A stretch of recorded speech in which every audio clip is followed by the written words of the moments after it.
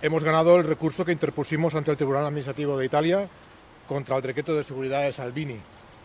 Han dictado el desembarco de las personas, pero evidentemente no tenemos asignado un puerto. No podemos entrar en aguas territoriales eh, italianas y, y, aquello de que mm, arrestamos al capitán, un millón de multa y, y decomisamos el barco también queda, queda tumbado. ¿no?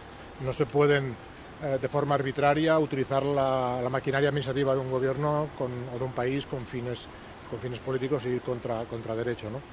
Eh, bueno, eh, yo creo que esto dará un empujón más y es muy posible que, que podamos desembarcar antes de lo, antes de lo previsto. ¿no?